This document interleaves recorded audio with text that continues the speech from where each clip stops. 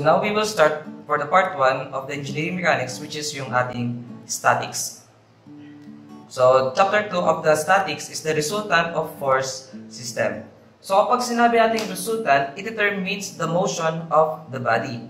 Meaning, ang resultant, yun yung uh, overall results or overall effect of the forces on a certain body. So kapag ang ating resultant R is equal to 0, therefore yung ating uh, motion or movement for that body is equal also to 0. Or sa madaling salita, walang movement or walang motion sa ating body.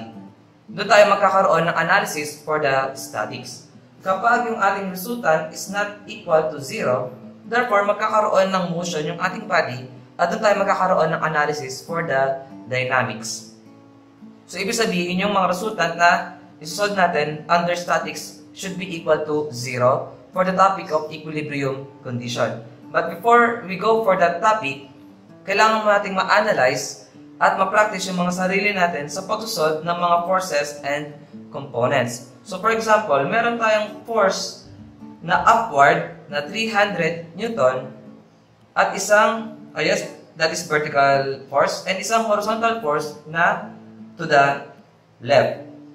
So dito, i-determine natin yung kanyang overall effect or resultant nung ating force na 300 at force na 400. At yung resultant ito, or yung effect nito, is pag ganito. Okay? So, this is our resultant na equal sa 500 Newton. And syempre, uh, vertical to, which is perpendicular sa ating 400, makukuha natin yung R by simply uh, Pythagorean theorem.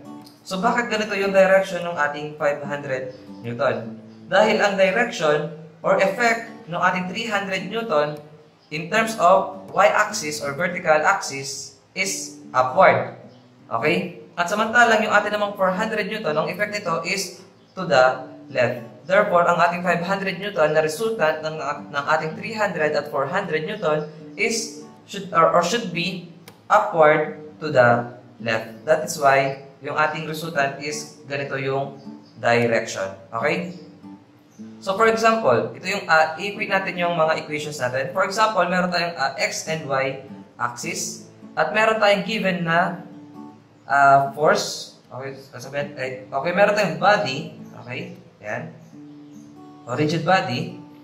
At in-applyan natin ng load. So meron tong load na Px. Okay. At meron rin tayong load dito na Py. So, resultant ng ating uh, forces ng Py and Px should be upward to the right. Okay? So, this is our resultant. And dito, gumagamit tayo ng mga vector forces.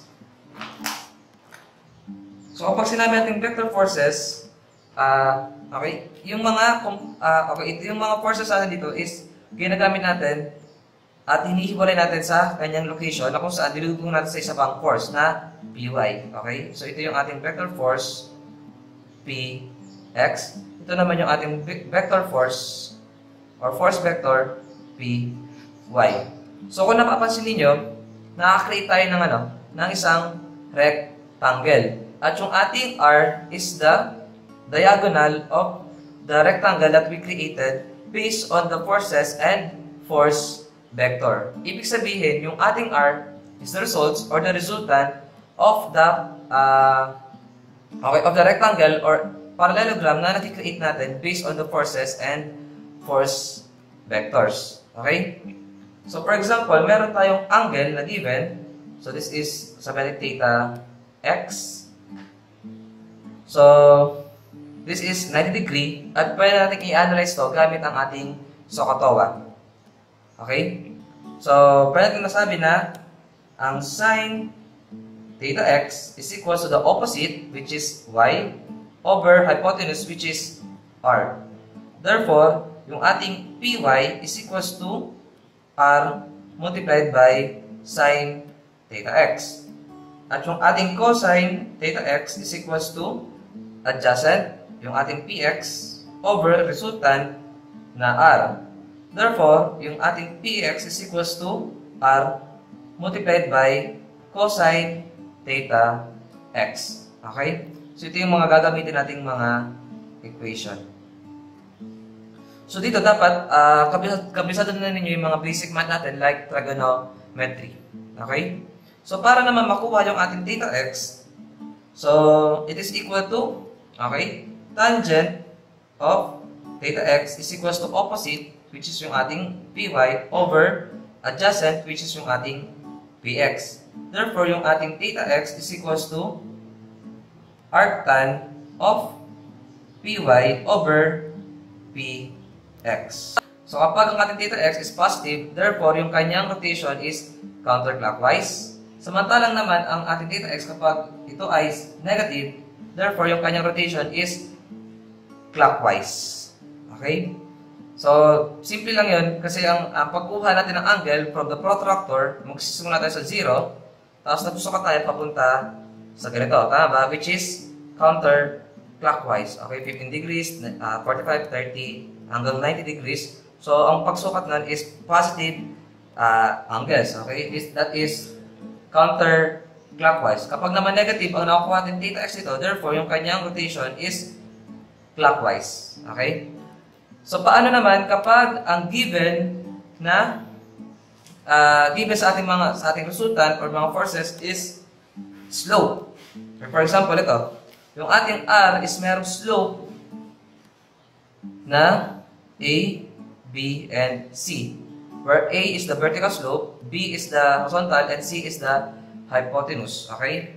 So, madali lamang ditong gamitin.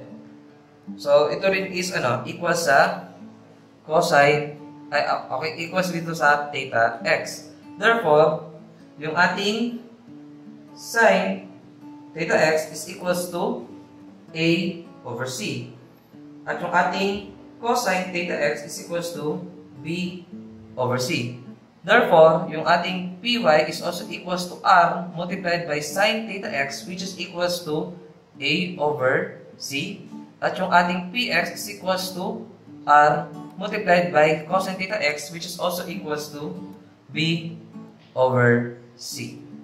So, yun yung paggamit ng ating slope. And tips ko lang sa pagkuha ng mga forces and components natin sa ating mga resultant, ang ating mga angle na gagamitin dapat should be res uh, or with respect to x axis. So paano naman kapag with respect to y axis? Okay, so sa metric ito ay theta, y. So magkakabaliktad na. Ang mangyayari, yung ating py is equals to r cosine of theta y. And yung ating px naman is equals to r sine of theta y. Okay? So dito, tips ko na lang, paano kayo nalilito, ang gamitin na lamang inyong angle lagi is with respect to x-axis. Para kapag sinasabi natin or hinahanap natin is vertical component or uh, okay, or y component, ang gagamitin natin is sine. And yung ating x component or horizontal component, ang gagamitin natin is cosine.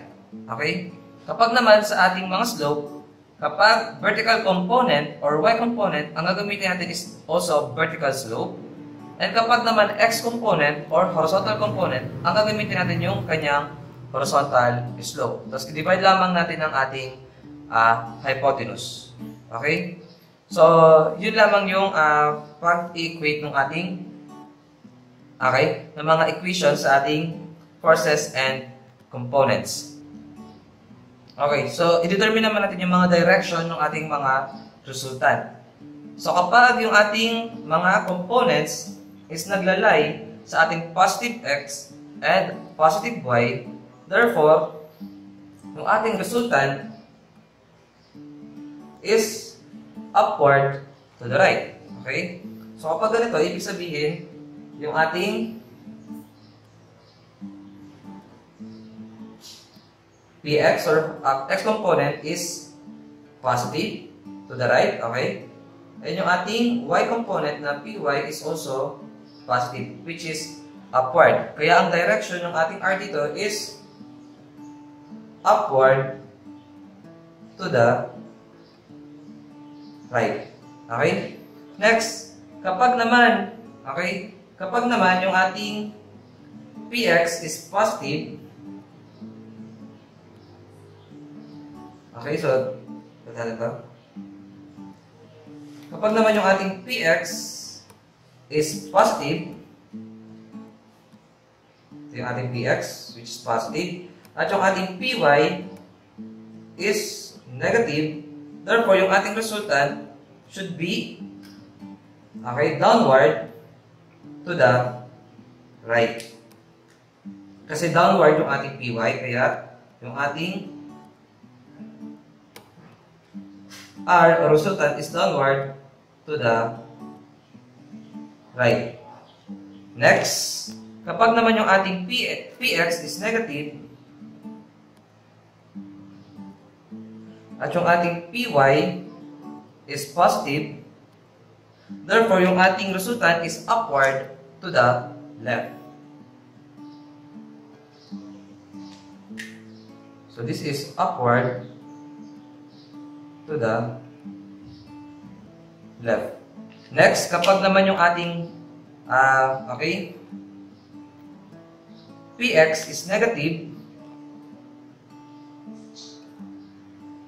oh, sorry, This is x-axis.